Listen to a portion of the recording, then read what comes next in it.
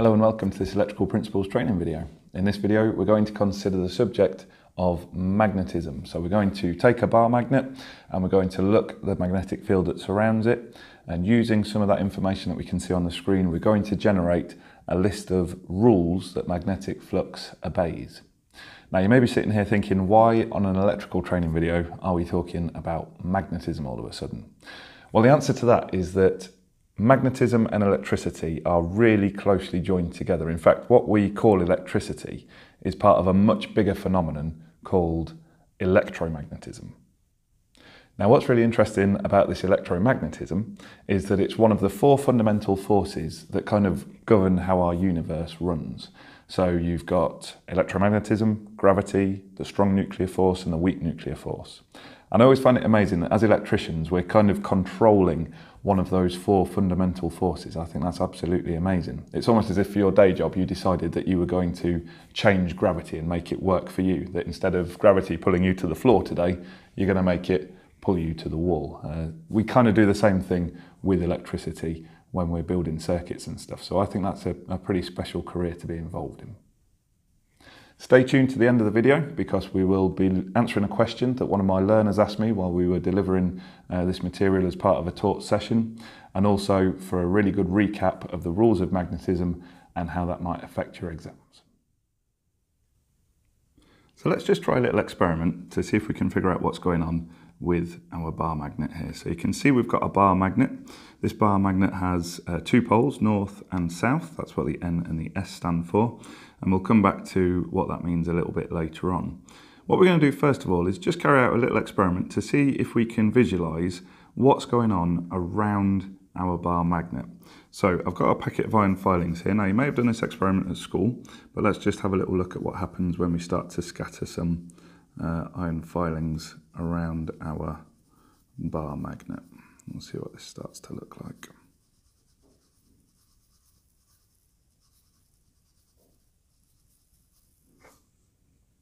So hopefully you can start to see there that there is a pattern forming within the iron filings. So let's just give uh, this a little tap. And now we can start to see that pattern starting to form up much more neatly. We're seeing a pattern formed here because around our bar magnet there are what's called lines of magnetic flux. Now these lines of magnetic flux are kind of theoretical. Uh, they were invented as a way to help us understand the way that magnetic fields behave. But what you can see is that there is uh, a field that exists around the poles of our bar magnet. So you can see there that we've got uh, lines that join up the North Pole and then they uh, head round to the South Pole. What we can also see is that those lines actually continue round, but as they go out of shot here, you can see that the lines are gradually just getting bigger and bigger and bigger, but in fact, each and every one of these lines forms a complete loop. Now that's a really important point to bear in mind is that lines of magnetic flux form complete loops.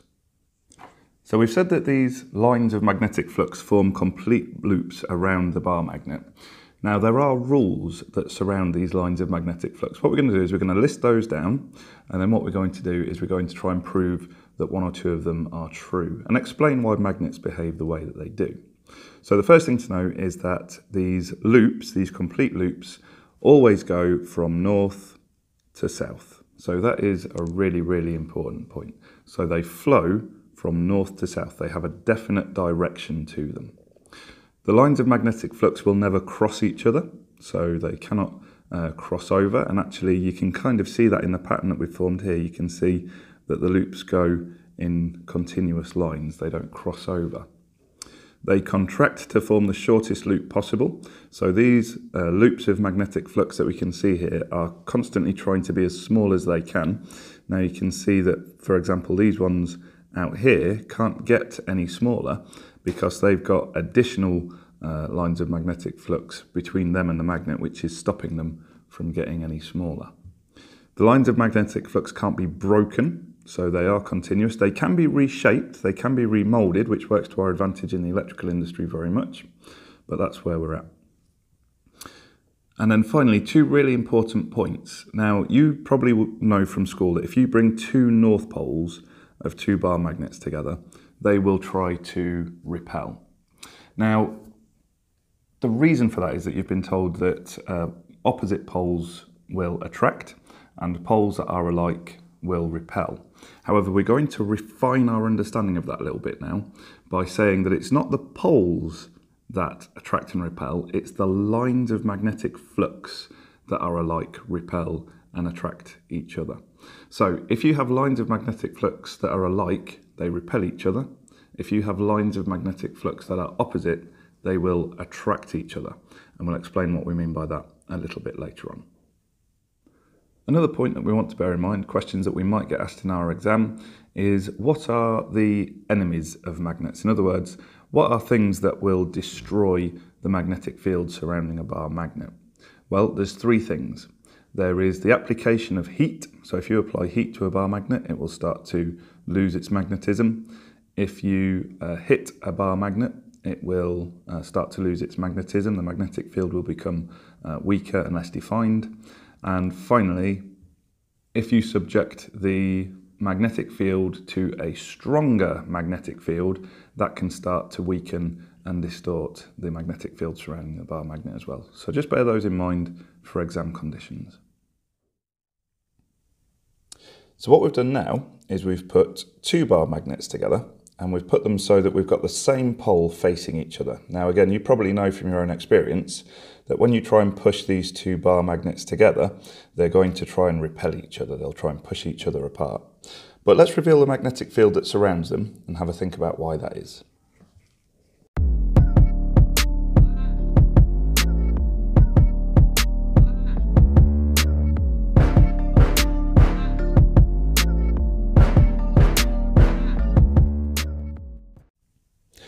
So as you can see, we've got two magnetic fields surrounding the bar magnets. The magnetic uh, fields are coming from the North Pole and going to the South Pole externally to the bar magnet, as previously explained. And that really is the key point as to why these poles try to repel each other. Because if you trace one of the lines of magnetic flux out the end of this bar magnet, it comes from the North Pole, it goes around the outside to the South Pole. And the same thing's happening here. The line of magnetic flux is coming from the North Pole and it's going round to the South Pole. Now, we know that opposite uh, poles will attract and like poles, same as we've got here, will repel each other. But it's not necessarily the poles that are repelling each other, it's the fact that we've got lines of magnetic flux that are going in the same direction. So here, the lines of magnetic flux are both going that way and that way from each bar magnet, which means that the lines of magnetic flux themselves that are alike is what's doing the repelling. So let's have a look what happens when we bring these bar magnets closer together. So let me just take away the iron filings for a moment. Now what I'm going to do is I'm going to bring these two bar magnets a little bit closer together and I want to get them to the point where they're actually trying to repel each other like they are here. And what I'm going to do is I'm going to actually fix these in place so again, we can see uh, that magnetic field between them. So in order to achieve this, what I'm going to do is I'm going to uh, stick these uh, bar magnets down with a little bit of Blu Tack. So you'd be amazed how much we use Blu Tack in our videos. Solves an awful, awful lot of problems. Okay. Now again, as I bring this closer, it's trying desperately to repel, it's trying to push away. So I'm going to use a little bit of Blu Tack to hold these down. So that's trying to repel from the other. The Blu Tack's going to prevent that from happening. I'm going to bring back my iron filings, put that down on there, and then we'll just have a look at how that magnetic field has changed again. So let's give this a little tap.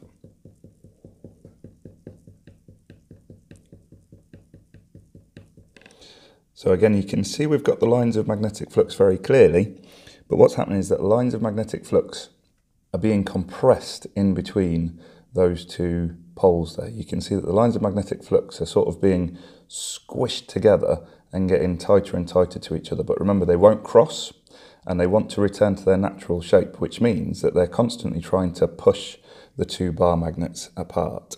So that's what's happening in the magnetic field between two bar magnets where you have like poles together.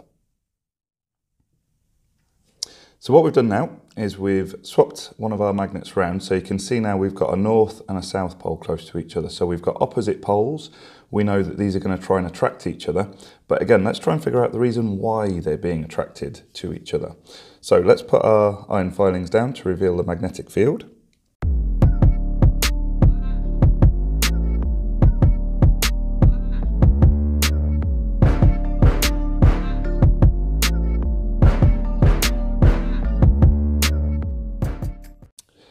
Okay, now you can see that's what, what's happening here is that the two fields from the bar magnets have kind of joined together. If you look, particularly we were interested in the gap between here, you see we've got lines of magnetic flux that are going from north to south. Okay, so they're going from north to south there. These lines of magnetic flux, these loops being formed between the two uh, bar magnets are trying to follow one of the rules that we spoke about. They're trying to shrink down to become the smallest loop possible. So what that means is that there's nothing stopping these from getting smaller and smaller. And what will happen is that those two magnets will be drawn to each other by those lines of magnetic flux trying to form the smallest loop possible. Again, that is the reason why a north pole and a south pole will be attracted to each other. It's caused by those lines of magnetic flux trying to be as small as they can possibly be. So a question that I was asked by one of my learners uh, as I was delivering this in the classroom was, he'd seen obviously the effect of the magnetic field in a, a two-dimensional way, like we've shown in the video, but he asked if the magnetic field behaved in a three-dimensional way as well, and that's a really, really good question, uh, and one that we can answer now. If we move the camera so that we're looking at this slightly more from the side now,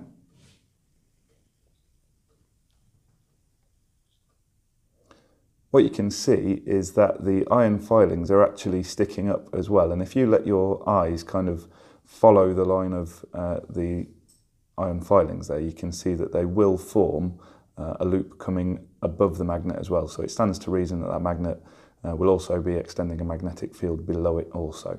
So the magnetic field isn't just two-dimensional, it surrounds the bar magnet completely. So let's just summarise those rules of magnetic flux, those all important rules that we covered in this video. We saw that lines of magnetic flux have a definite direction. Around the outside of the bar magnet, they go from north to south. Why are we being very specific about the fact that they uh, go north to south around the outside of the bar magnet? Well, because of course the second rule is that the lines of magnetic flux form complete loops, and that means that inside the bar magnet they continue. The third rule is that the lines of flux never cross each other. They contract to form the shortest loop possible. The lines of magnetic flux cannot be broken, they can only be reshaped. And those two all important points that we wanted to consider, lines of magnetic flux that are alike repel. Lines of magnetic flux that are opposite attract. In a future video, we're going to see why those two points are so important for understanding how electricity and magnetism are connected to each other. Thank you for watching.